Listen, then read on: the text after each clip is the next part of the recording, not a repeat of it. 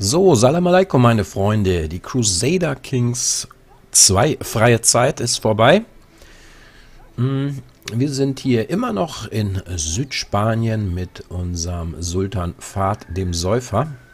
Und wir befinden uns in einem Krieg gegen König Ramiro, den König von Kastilien. Der hält diese Domänen und wir kämpfen um den de jure Anspruch auf Toledo. Das ist hier, genau, gehalten von Graf Pelayo von Toledo und sieht momentan sehr gut für uns aus. Toledo ist fast belagert. Übrigens befinden wir uns im Patch 272, 272, 274. Der neueste Patch ist vor zwei Wochen oder so rausgekommen. Ähm, ist ein bisschen AI-Fixing, äh, ein paar kleinere Bugs wurden ausgemerzt und dergleichen. Aber sonst nichts Besonderes. In dieser Folge werden wir uns hauptsächlich damit beschäftigen, was wir hier so in den letzten Folgen gemacht haben. Wir brauchen noch einen Regenten, sehe ich gerade. Den haben wir nicht. Ah, wen können wir denn vertrauen? Scheich Muhammad. Ist ein zufriedener Charakter. Ist jetzt von den Werten nicht so toll. Aber ist auch Andalusier. Und somit Anspruch auf Mauretanien. Anspruch ist natürlich schlecht. Hm, wie sieht es mit ihm aus? Den Walli von Ronda zornig, treuherzig, gierig. Ja, den wir Utmann. So, Befehlshaber. Können wir auch noch zwei ernennen. Da haben wir Ali, den Bürgermeister von Medina. Können wir nehmen.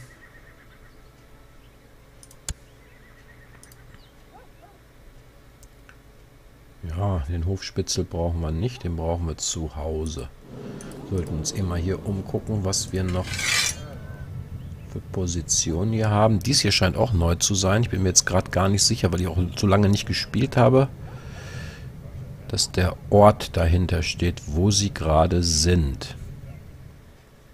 Aber scheint mir alles soweit in Ordnung zu sein. So, spezielle Personenaktion.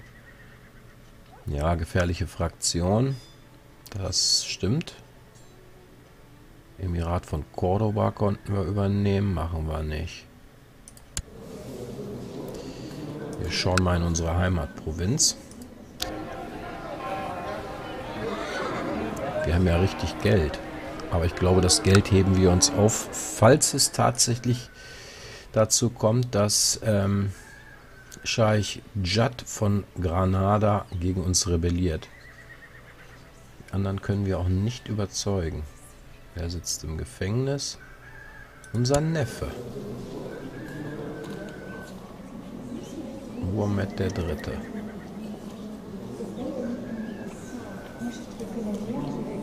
Ascharia gegen Multaziliten. Das heißt, ach hier. Okay, und wir haben eine andere Schule. Das ist natürlich schlecht. Ist das neu hinzugekommen? Ich weiß es gar nicht. So, was hatten wir nochmal für einen Charakter? Gefräßig sind wir, hinterlistig, paranoid, grausam, zornig, stolz und wir haben die Gicht. Jo. Ich glaube, wir lassen erstmal voranlaufen, aber ein bisschen langsamer noch. Ich muss mich ja erst hier einfinden. Toledo fällt gleich. So, die militärische Lehrzeit von Klein Faria ist abgeschlossen. Eine Kurtisane, das interessiert uns nicht. Ah, da ist er.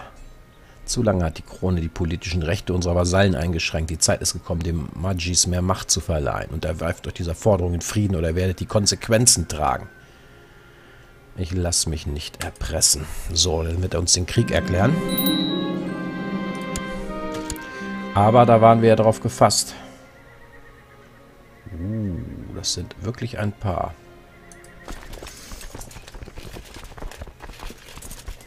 Gucken, wie viele Truppen wir noch ausgehoben kriegen. Das ist nicht viel. Und die werden sie wahrscheinlich gleich aufreiben. Wir versuchen trotzdem so viele wie möglich in Sicherheit zu bringen. Wir können auch noch 979 ausheben. Sonst weiß ich nicht wo. Das ist ein bisschen schlecht. Jetzt holen wir uns Söldner. Gesamtstärke. Die arabische Kompanie. Besteht hauptsächlich aus leichter Kavallerie. Hm. Die sind dort unten. Die bewegen sich auch erstmal da in die Bereitstellungsräume. Wenn die Armee Toledo fertig hat, das ist jetzt der Fall,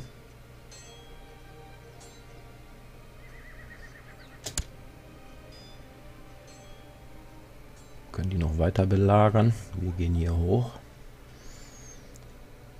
Sammeln dort noch Truppen. Da werden noch ein paar niedergemäht. Das ist verständlich, aber...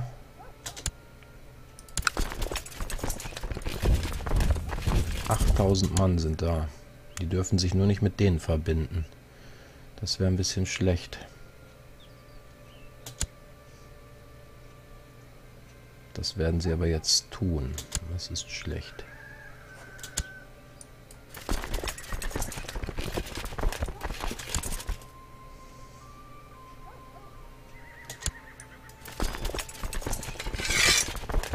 Haben wir hier... Nee. Ziehen die erstmal nach da.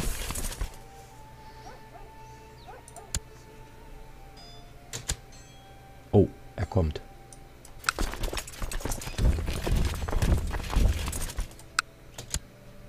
Er kommt dort mit 10.000 Mann.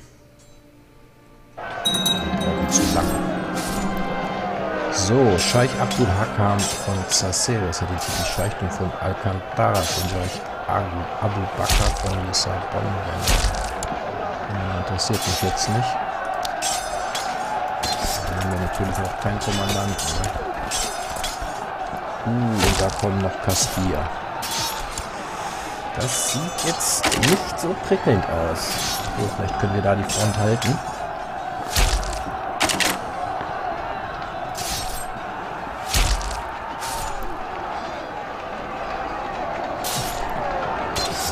Sieht gut aus. Und da sieht es auch gut aus. Die Schlacht ist gewonnen und die gewinnen wir auch. Hervorragend. Dann bleibt ihr da stehen.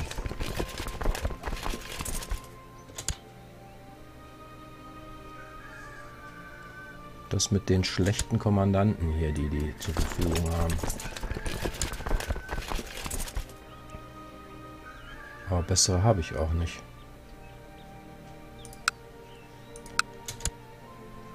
Gut. Was sind das hier für Truppen? Armee von Abd al-Aziz, Calatrava. Das ist aber nicht mein Krieg? Ne.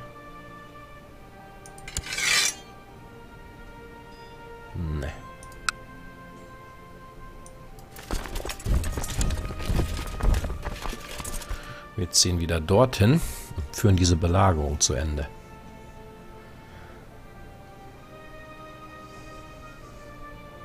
dann können wir es nochmal versuchen,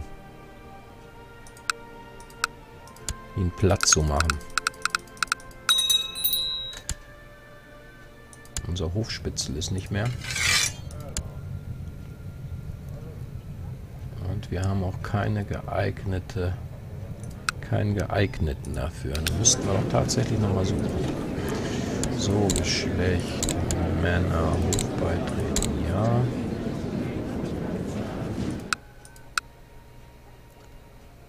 Da ist doch ein Andalusier. Ein buckliger, hässlicher, aber ehrlicher Mann. Grausam, stolz, besessen. Ist jetzt nicht so schön. Das ist ein Berber, den nehmen wir nicht. Ja, wir nehmen einen hässlich, hässlichen Buckligen, auch wenn er besessen ist. Senden.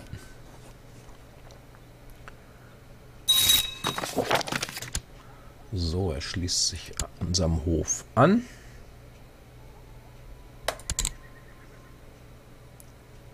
Und kann sich gleich integrieren.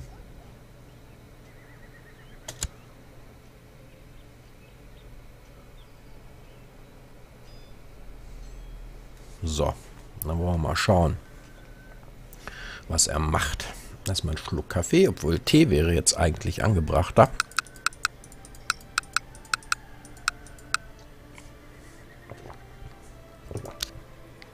Wo wir schon hier sind.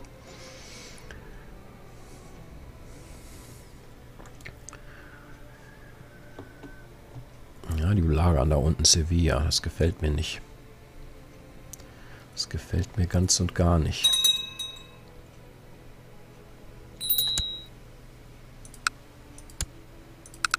Der Kanzler ist auch nicht mehr.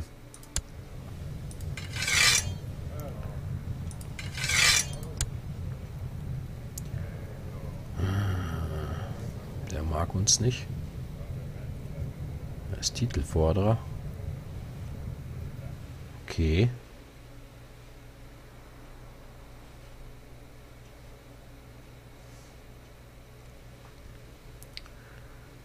So, der Bürgermeister von Algeciras. Ist ein mächtiger Vasall. Naja, zwölf. Na gut. Soll er mal Staatskunst verrichten.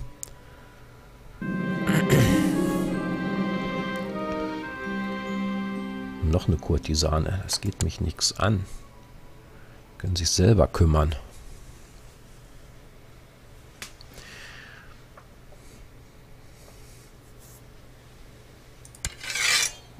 Also sehr schön. Dass wir gleich einige Leute wieder einkerkern können.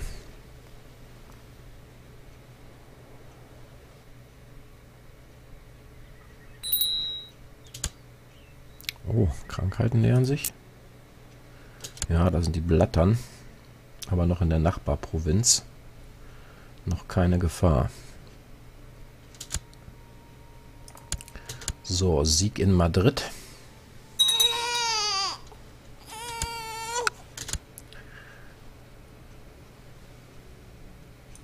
Hier auch einen Sieg. Das reicht noch nicht. Aber wir müssen was tun und gegen Sevilla vorrücken. So, unsere Halbschwester. Überdurchschnittlich intelligent.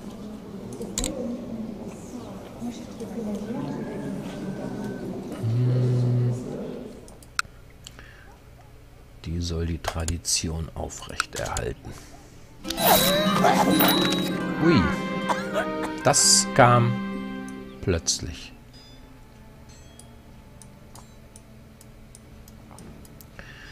Sultan Fahd ist bei dem Huris im Paradies im Alter von 45. Er starb an Komplikationen im Zusammenhang mit Gicht. Fahd war hitzköpfig und versetzte andere mit Zornausbrüchen in Angst und Schrecken. Für diese abscheulichen Sünden wird er im Jenseits sicherlich büßen müssen. Sultan Wanako. Aufgrund des geringen Alters von nur 13 Jahren wird das Reich vom Regenten und dem Rat regiert. Lang lebe Sultan Wanako. Okay, das kam plötzlich. So sei es. Ja, das ist Sultan Wanako, 13 Jahre alt und ein schüchternes Kind. Wir haben reichlich Titel und eigentlich viel zu viele. Dafür, dass er Staatsverwaltung so schlecht ist. Aber uns bleibt nichts anderes übrig. Wir brauchen einen neuen Marschall. Das wird Bilal übernehmen. Der wird die Truppen ausbilden in Sevilla. Einen neuen Hofschwitzel. Das bleibt Abdul Razak.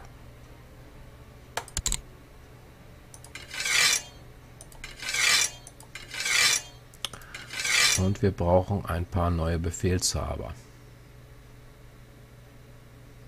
So, Befehlshaber von... Ja.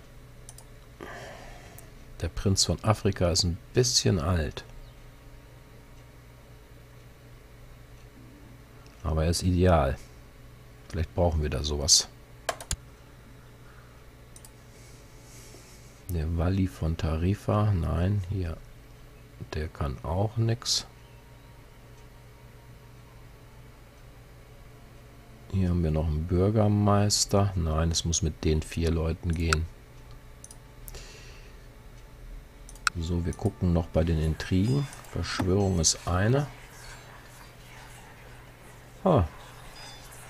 Die Wahida will uns umbringen hier.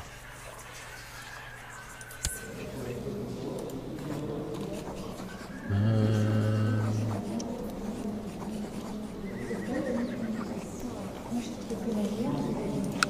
An den Hof einladen will sie nicht. Verschwörung beenden will sie auch nicht.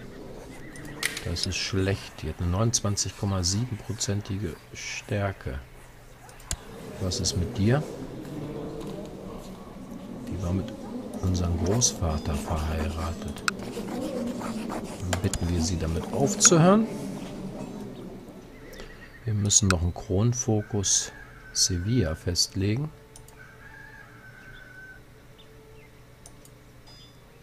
Äh, Kronfokus festlegen. Ist doch schon...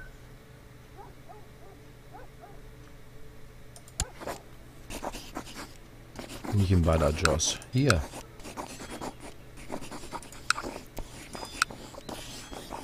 Oder geht das jetzt nicht, weil es gerade belagert wird? Das kann natürlich sein.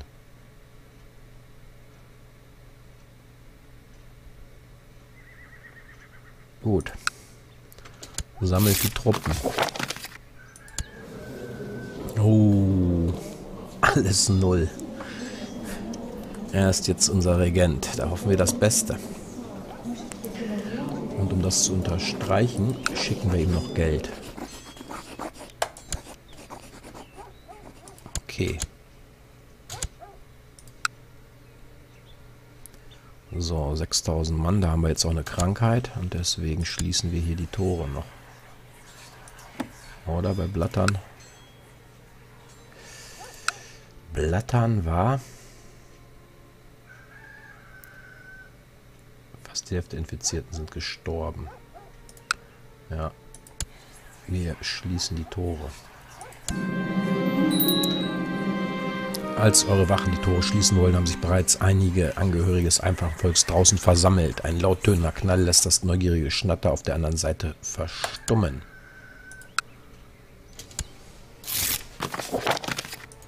So, da hat die Verschwörungs... Oh. Die gesegnete Jungfrau hat König El von England den Sieg im Kreuzzug um Jerusalem gegen Kalif Abu Mansur al-Nizar gewährt. Papst Eugenius III. hat einen Monat des Feierns für die ganze christliche Welt ausgerufen. So. Hier haben wir unsere Armeen.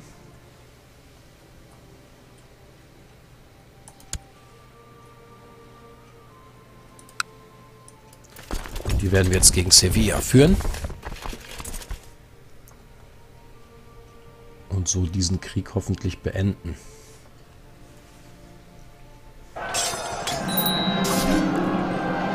Herr Hofarzt Saad teilt euch mit, dass Prinzessin Suraya von Abadid Sultanat an der derzeitigen Wütenepidemie leide. Unsere Halbschwester. Sie mit allen hier zu behalten, würde alle in Gefahr bringen. Es ist zu spät. Werft sie hinaus.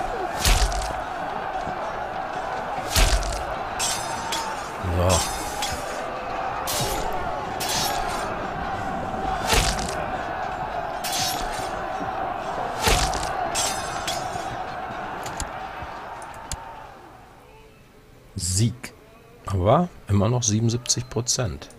Das heißt, wir werden jetzt diese Armee verfolgen und abschlachten. Sonst hat das hier nie ein Ende. Können wir jetzt den Kronenfokus hier festlegen? Ja, jetzt geht's. Lack an der Belagerung. Wo will er denn hin? Mertola. Dann gehen wir erst dahin. Dann gehen wir nach Mertola.